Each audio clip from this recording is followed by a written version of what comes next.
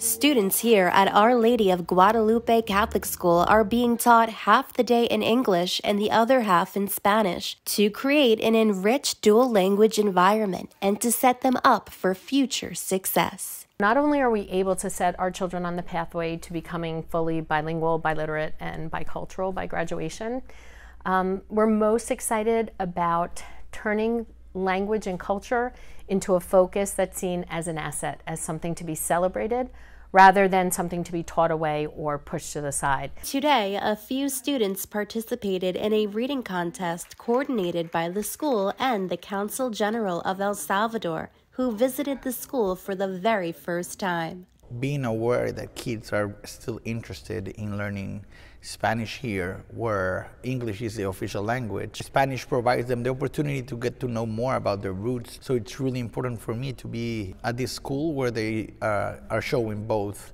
languages, and, and the kids are really uh, interested in it and they love it. And the students couldn't agree anymore. Now I can have like another language to know. I don't only know English, so I can understand Spanish. Coming to a school with a dual language program, dual language teachers, I felt very welcome. It's very important for me to speak Spanish because most of my relatives do it.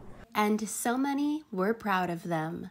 They um, felt um, comfortable to, to show part of who they are um, and they, again, they felt confident to do that. So I was really proud of them for, for getting up there and, and, and reading so beautifully. To hear our students reading in Spanish, reflecting the various different countries that they came from, and also to see how respectful the audience was of the students uh, is really what we're trying to work. It's a culture where everyone is respected, everyone is honored, and um, we work together to, uh, to build a, a climate of, of care and concern.